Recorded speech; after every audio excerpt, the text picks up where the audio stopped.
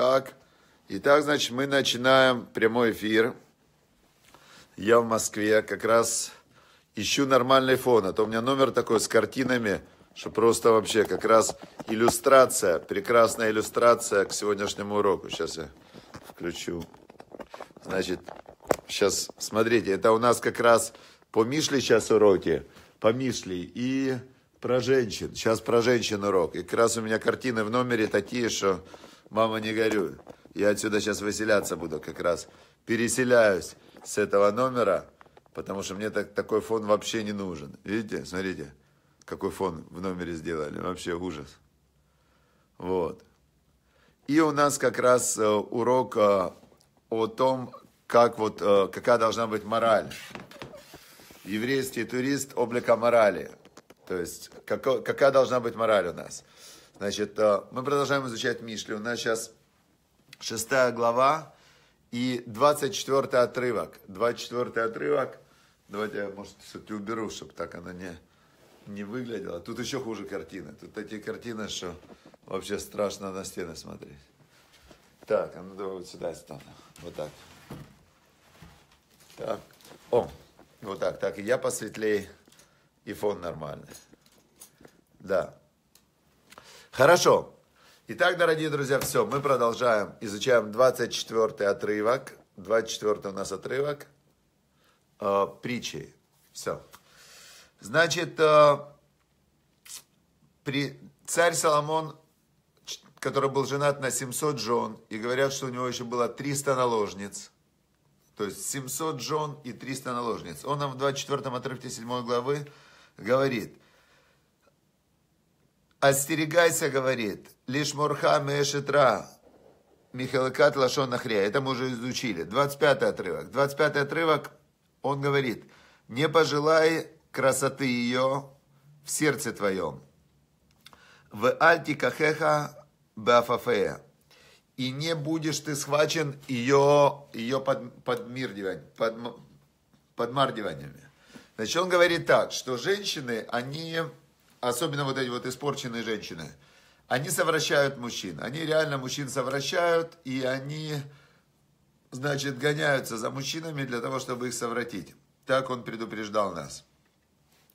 И он нас здесь предупреждал еще о том, что, значит, сам процесс совращения, он идет в голове у мужчины. То есть э, глаза увидели, а дальше он себе сам все дофантазировал, довыдумывал. Понятно, да, какая технология? То есть глаза видят, сердце хочет, руки-ноги начинают делать. И Раби Нахман, э, он для того, чтобы освобождаться от вот этих вот пут, от этих пут женщин, да, что делал Раби Нахман? Он представлял, представлял анатомический атлас. То есть он видел женщин как, э, как в анатомическом атласе, да, просто в разрезе. Как они, вот если просто там, например, половина вот так, а половина в разрезе.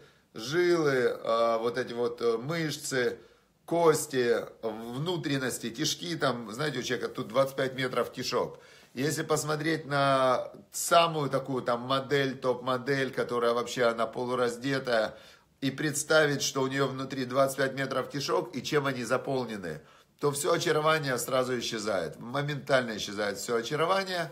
И Царь Соломон нас об этом предупреждал. Второе есть более глубокое объяснение, что есть, э, например, в то время были греческие философы. И эти греческие философы, они были очень умные, они очень красиво умели рассуждать. А может так мир устроен, а может так, а может э, давай голыми побегаем, а может то, а может это. Но они красиво рассуждали. То есть у них был красивый язык, вот эти греческие там комедии, трагедии, театры все эти. И об этом тоже говорится в 25-м э, отрывке. Не пожелай красоты ее в сердце, не возжелай, и не э, будешь ты схвачен ее под мир, под мади, моргать, под мардиваниями, да. Значит, э, следующий отрывок такой. Тибат и Шазона от Тикарлехам, что из-за женщины блудной нищают, э, то есть беднеют до буханки хлеба. То есть человек, э, который начинает за этими женщинами блудными э, бегать, то он теряет все свои деньги. Это же надо сколько денег, чтобы за ними бегать. Там они все требуют же деньги, подарки и так далее. Кстати, знаете, было раньше модно в литературе там, 18 века, куртизанки разные там и так далее. Значит, они все были э, такие продажные женщины, и, но они дорого стоили. И мужчины, значит, они, ну, в общем, тратили на них деньги. Царь Соломон предупреждал, не надо этого делать. И, э, а замужняя жена, то есть в эшет иш, жена, жена вообще, да, замужняя, нефеш якарат отсюд. Она вообще у человека душу забирает. То есть, если мужчина, он э, занимается развратом с женщинами свободными, но которые продают себя, то тогда он теряет только деньги, но душу свою он не теряет. То есть нет прямого запрета истории э, на такие взаимоотношения. Мудрецы все это запретили, но в Торе э, прямого запрета такого нет.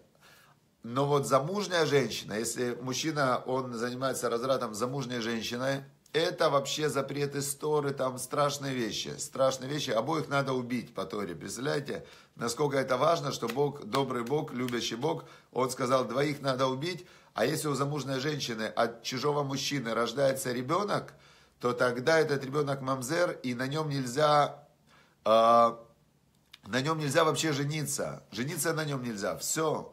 Э, Представляете, насколько это страшно, и насколько это нельзя исправить, и насколько Бог к этому серьезно относится, чтобы были вот эти вот супружеские отношения, были крепкими, да, чтобы были вот такие вот семьи вместе. Значит, э, я когда это изучал, я вспомнил, сейчас, я вспомнил, э, а вот следующий отрывок, 27-й. Аихте иш эшбехейко, убгадав лоты сарефна, положит разве может быть, спрашивать царь Соломон, царь Шломо спрашивает, может ли человек положить э, огонь себе за пазуху, и чтобы его одежда не сгорела? Конечно, не может.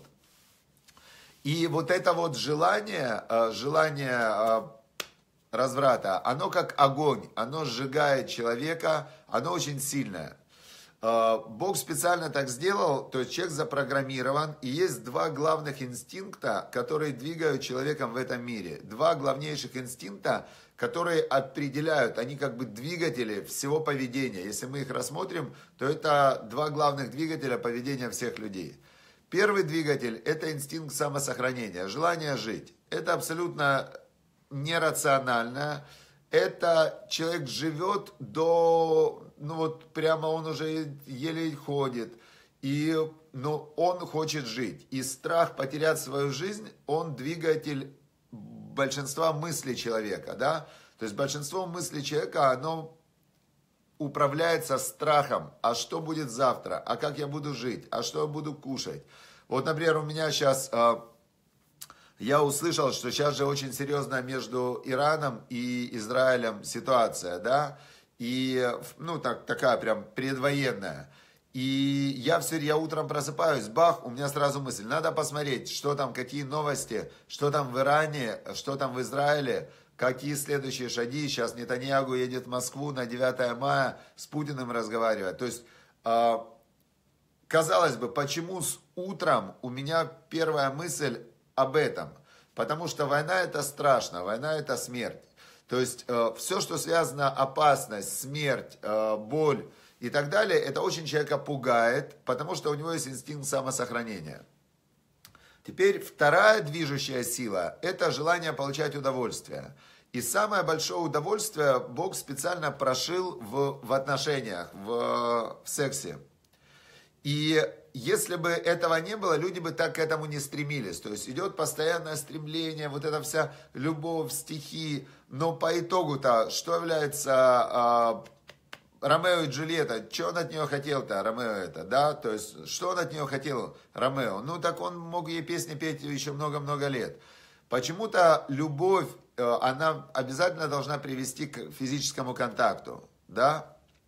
Теперь э, вот эти вот две вещи, инстинкт самосохранения и инстинкт размножения, они управляют э, на таком, знаете, инстинктивном уровне э, жизнями людей, жизнями всех 7,5 миллиардов людей. И поэтому Бог нам сказал, что, что вот эта вот тема половых отношений, на Йом-Кипур есть целая глава, которая говорит о том, что нельзя, где там поставлены ограничения. То есть человеку поставлены ограничения религиозному, в основном в половой сфере и в питании. Там, где можно легко получать удовольствие, так Бог говорит, слушай, вот здесь это кушай, это не кушай. А в этих отношениях здесь тебе можно, здесь тебе нельзя. И давай с этим разберись. То есть вот два главных запрета.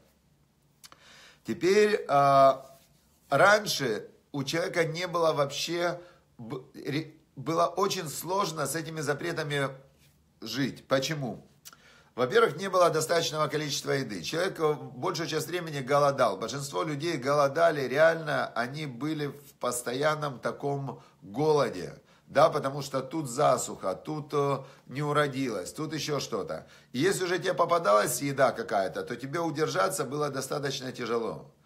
Теперь в отношениях было у людей вообще совершенно дикое желание, намного больше, чем сейчас. То есть вообще нельзя сравнить. То, что было во времена царя Соломона, и спрашивают, как он мог с 700 жен выполнять свои супружеские обязанности. Он мог, он реально мог. То есть в то время люди могли, и не просто могли, они, прям у них было желание постоянно этим заниматься, да, как у хомячков. Вот конкретно были люди в то время, как хомячки такие, да. Даже про святого царя Давида, про папу царя Соломона написано в Талмуде, что когда он увидел там одну женщину, он за ней три, три бежал три мили, четыре с половиной километра он за ней бежал, пытался ее поймать. А она ему кричит, говорит, что ж ты делаешь-то? Я замужем, я не могу в это самое, зачем ты берешь на себя этот грех? Он не мог остановиться. Представляете, какое было у людей в то время, а, в то время желание? И, значит, э, поэтому, поэтому, когда они его могли преодолеть, они реально становились святыми. То есть это как, э, как э, человек, который преодолевает большое сопротивление, у него растет сила. Вот есть люди там, марафонцы, ультрамарафонцы, они могут пробежать 200 километров, 300 километров. И когда они выходят на этот уровень преодоления себя, они становятся сверх ультра, да, они становятся ультрамарафонцы. То же самое человек, который там со штангой, чем он тяжелее поднимает вес, тем он сильнее. То есть через преодоление растет сила. То же самое, люди раньше, когда они могли преодолеть вот это вот свое желание, и они говорили Богу, все, я тебе послушен, я хочу, но я не буду делать. И они, преодолевая вот такое вот инстинктивное стремление, они поднимались на уровень пророков. И вот здесь вот эта вся, э, весь этот вопрос, может ли человек положить себе огонь за пазуху и не сгореть. Э, есть известная история в Талмуде, в трактате Санедрин. Там рассказывается история о... Был такой Иешуа первосвященник, это был последний первосвященник э, первого храма. И были Хананя, Мишель и Азария, это были пророки. И были еще и лжепророки в то время. В то время были лжепророки, это люди, которые а, типа ясновидящие, экстрасенсы, они делали чудеса, но они были лжепророки. Почему они назывались лжепророки? Они это делали для себя, для своего удовольствия, для своего... То есть они это делали не для Бога. В Торе написано, что лжепророков надо убивать. Конкретно Бог сказал. И вот э, в Вавилоне, где еврейская община, она была прямо очень, э, при, как сейчас в Америке, да, при, Навуходнес, э, при Вавилонском царе было человек, который справа от него сидел, это был глава еврейской общины. То есть представьте уровень, да. Значит, как сейчас у Трампа есть его дочка, которая приняла иудаизм, и ее муж Кушнер, его фамилия, который ортодоксальный еврей, соблюдающий, представьте. Вот так было в Вавилоне. И там было два лжепророка. Они были э, люди, люди такие видящие, знающие, но которые жили только ради себя, своего удовольствия, и они не соблюдали заповеди. И вот, значит, э, они настолько были наглые, и настолько они были, э, как сказать, влиятельные, наглые, что они подкатили, у Навуходоносора была дочка, и они ей говорят, знаешь что, у нас, один говорит, у меня было пророчество, что ты должна быть с, с моим вот этим вот другом, со вторым пророком, лжепророком. А второй такой посмотрел, говорит, а у меня было пророчество, что ты с ним должна быть. И они ей говорят, дочки царя Вавилона, на выходные цару. Дочка такая на них смотрит и говорит, «А, знаете, я пойду папу спрошу. Пойду спрошу папу. Приходит она к папе, рассказывает эту историю. И папа говорит на выходные царь, царь, говорит, что-то здесь не сходится. Что-то не сходится. Потому что были же Хананя, Мишель и Азария, пророки, которых я в печку бросал за их веру в Бога. И Бог их из печки спас. Так они мне говорили, что Бог Израиля не любит разврат. Бог Израиля это запрещает. Вот э, он не учил тогда Таилим, э, не Таилим Мишли, он не учил, но он от пророков знал, что Бог Израиля не любит разврат. А, значит, вызвали этих лжепророков, и он им говорит, парни, что же вы предлагали моей дочке? Я знаю, что Бог Израиля не любит разврат. Они ему говорят на выходный цару, откуда ты знаешь? Он говорит, мне сказали Ханани, Мишель и Азария, пророки. Они говорят, ну правильно, Бог им так сказал, а нам так сказал. Мы тоже пророки, они пророки, мы пророки. Бог им так сказал, нам так сказал. Значит, э, на выходный царь говорит, э, да, говорит, э, логика в ваших словах есть. Но, говорит, есть нюанс. Их я проверял. Их я в печку бросал, а вас не бросал. То, что они пророки, я знаю. А вы пророки или нет, я не знаю. Так что, говорит, придется вас в печечку бросить. Тут они, конечно, переглянулись и, и говорят ему, не-не-не, говорят, это не работает, так нельзя. Так нельзя, потому что их же было трое, а нас двое. Их Бог спас, а нас может не, спасть, не спасти. Может, наших заслуг не хватит. На царь, он им говорит, парни, говорит, «Э, вы правы, да, действительно, есть логика в ваших словах. А, поэтому, говорит, я все равно вас хочу проверить, но я вам разрешаю взять с собой третьего. Берите с собой третьего. Возьмите себе, выберите себе третьего, такого цадика, праведника, и посмотрим тогда, насколько вы пророки. Значит, они понимают, что как бы съехать будет тяжело, и они говорят, мы хотим взять Иешуа. Они знали, что Иешуа первосвященник, который был последний первосвященник в первом храме, он садик, он праведник, он вообще такой святой. И они думают, ради него Бог нас спасет. Значит, их троих хватают и бросают в печку. Бросают их в печку, значит, э, огонь, эти лжепророки сгорают, а Иешуа, первосвященник, он э, выходит из печки, живой и здоровый. Но сгорели его одежды. Как написано здесь в 27 отрывке, а может быть, чтобы человек положил огонь за пазуху и одежда его не сгорела, не может такого быть. То есть вот этот огонь желания, если его в себе разжигать, то он каким-то образом обязательно может навредить. Теперь Талмуд спрашивает, а почему у него одежда-то сгорела? Если он праведник, почему у него одежда сгорела? И, значит, э, первое предположение Талмуда такое, что из-за того, что с ним вдвоем было два злодея, его одежда сгорела.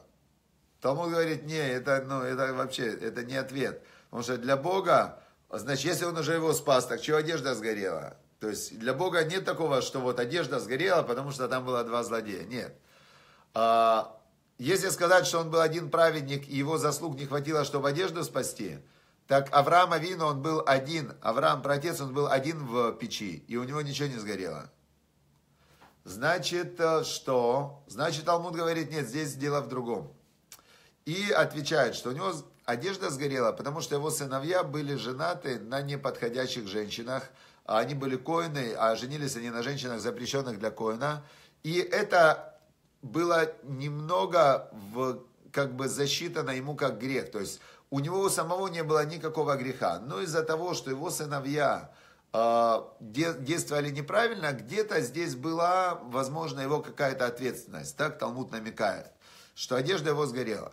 Теперь здесь, если мы все это раскрутим обратно, то нам в 25-м отрывке написано, что не возжелай вот этих женщин в сердце своем. То есть самое главное, это лишь это сохранять глаза не смотреть на женщин запрещенных вообще, вообще не смотреть, потому что внутри этот огонь, он остался, то есть это как бы такая инстинктивная программа по умолчанию, и если ее включаешь, то этот огонь, он потом может сжечь, и он очень, ну, реально мешает.